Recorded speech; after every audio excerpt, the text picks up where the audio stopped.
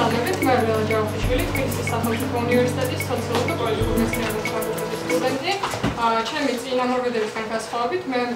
ვარ სოციოლოგიის მიმართულების სტუდენტი, შესაბამისად ამ თემისადმი ჩემი ინტერესი განპირობებული არა პროფესიული კუთხით, არამედ უფრო მოქალაქეობრივი ინტერესის გამო. თავდაპირველად მინდა გითხრათ ის, რომ ზოგადად ჩემი მოხსენების თემა ნატო საქართველოს ურთიერთობები ვარშავის სამიტის კომუნიკაციის მიხედვით, ჩვენთვის ასე თუ ისე კარგად არის ცნობილი, რამდენ რამდენ მნიშვნელოვან როლს ასრულებს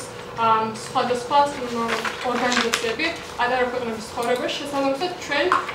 საქართველოს ძალიან მნიშვნელოვანი ყურადღება უნდა მივაქციოთ იმ მესიჯებს, რომლებიც ამა თუ იმ ორგანიზაციის დოკუმენტებში არის წარმოდგენილი ჩვენი ქვეყნის მიმართ. თავდაპირველად მინდა გითხრათ, რომ 1912 წლიდან დაიწყო ნატო საქართველოს ურთიერთობის ასე ვთქვათ მნიშვნელოვანი ეტაპი, როგორც ჩემმა ერთ-ერთმა წინამორბედმა ახსენა და მას შემდეგ ჩვენ დავდიქით იმ რეალობის წინაშე, როდესაც ვარშავის სამიტის კომუნიკა, რომელიც სულ რამდენიმე ხნის წინ გამოიცა, კერძოდ კი 2016 წლის 9 ივლისს და საბოლოო ცვლილება განიცადა უკვე 3 აგვისტოს, მოხდა ის, რომ სამი პუნქტი ეხება უშუალოდ საქართველოს და გარდა ამისა არსებობს სხვა პუნქტებიც, რომლებიც მეორეულად მაინც ეხება საქართველოს იგივე შავი ზღვის კონტექსტში ან განსაკუთრებული მიმართულებებით, რაც შეეხება ორგანიზაციის მიერ კონკრეტული ნაბიჯების გადადგმას. პუნქტი, როგორც უკვე თქვეს, არის 129 კომუნიკაცია 129 პუნქტიანი. თლიანობაში გამოდის ისე, რომ 7 პუნქტია, რომელშიც საქართველოს არის პირდაპირ ან ირიბად ნახსენები და მე მინდა რამდენიმე სიტყვით შევეხო მეთოდოლოგიურ ნაწილს თემის საკრავად გამოიყენეთ თვისობრივი კვლევის მეთოდი დოკუმენტების ტრადიციული ანალიზი რაც შეეხება კონტენტ ანალიზის შედეგს რომელიც თქვენ წინაშეა გრაფიკის სახით ამ ანალიზის შედეგად ირკვევა რომ საქართველოს დოკუმენტში 28 ჯერ არის ნახსენები ხოლო უკრაინა 35 ჯერ ეს ორი ქვეყანა ავიღებს იმ იმ მიზეზის გამო რომ ძირითადად ერთი და იგივე კონტექსტში მოიხსენიებიან და სხვადასხვა პუნქტებში ხშირად ერთი მეორეს მიყოლებითაც კი არის ნახსენები. რაც შეეხება იმ მოლოდინს, რაც საქართველოში კომუნიკეს დაწერამდე, გამოქვეყნებამდე არსებობდა, რა თქმა უნდა, ამ ადამიანების აზრი არ შეიძლება მთელ ქვეყანაზე განმაზოგადოთ, თუმცა გამომდინარე იქიდან, რომ მათი პოზიციიდან გამომდინარე მნიშვნელოვანი იყო წინასწარი ჰიპოთეტური აზრები, რაც კომუნიკეს შინაარსზე შეიძლება და ყოფილიყო, მინდა რამდენიმე სიტყვით შევეხო თითოეულის მოსაზრებაზე, მაგალითად თინახი და შელი ამბობდნენ, რომ ჩვენ ამ ამ სამიტის შემდეგ არ უნდა დამგარიყავით იმ რეალობის წინაშე, როდესაც დაუშვათ წინა სამიტზე არსებობდა ძალიან კარგი პაკეტი, რომელიც იყო სრულფასოვანი და გამართული, თუმცა რეალურად არ არსებობდნენ ქვეყნები, რომლებიც საქართველოს მიმართ განახორციელებდნენ მთელს იმ პოლიტიკას, რომელიც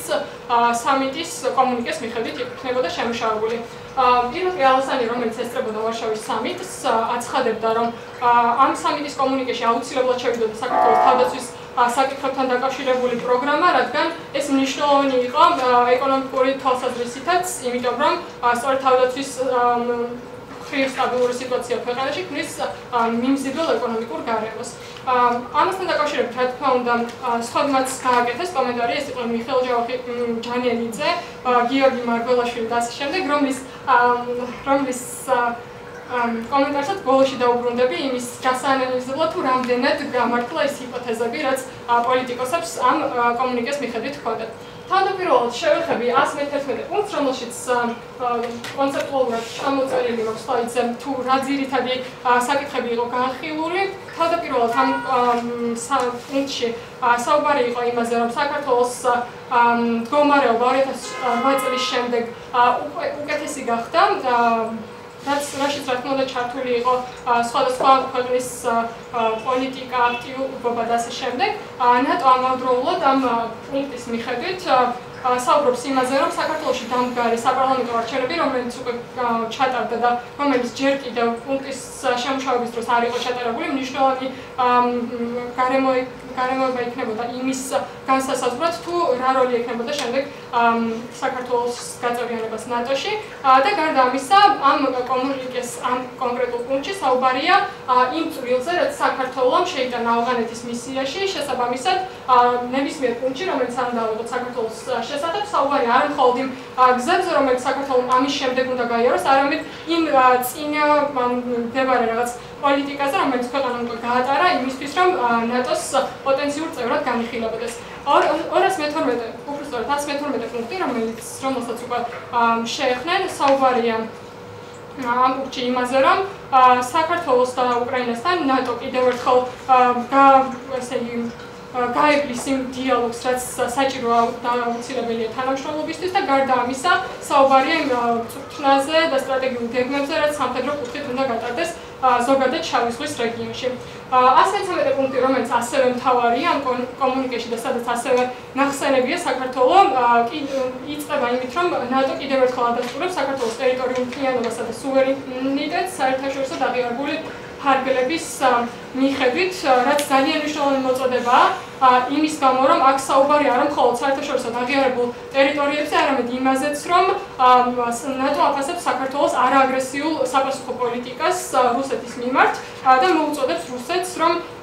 კიდევ ერთხელ გადახედოს ამ საკითხს და მიიღოს ის გადაწყვეტილება, რომელიც არ დაუპირისპირდება საერთაშორისო სამართლის აღიარებულ პრინციპებს. როგორც უკვე გითხარით, ამ კომუნიკაციაში არსებობს გარკვეული მეორეული პუნქტები, რომლის მიხედვითაც ასევე საუბარია მაგალითად 23 პუნქტში შავი ზღვის რეგიონში უსაფრთხოებისა და სტაბილური სიტუაციის დამყარებას და კიდევ ერთხელ საუბარი იმაზე, რომ ნატომ უნდა გააძლიეროს დიალოგი უკრაინასთან და საქართველოსთან. სწორედ ეს არის ის პუნქტი, რომელშიც თავიდან აღნიშნა, რომ უკრაინა და საქართველო ერთი ერთმანეთს თან მიმართებაში განიხილება და განიხილება იმგვარად, როგორც რაღაც მსგავსი კონტექსტის მქონე ქვეყნები საერთაშორისო არეალში. გარდა ამისა, მეოთხე პუნქტში, 24 პუნქტში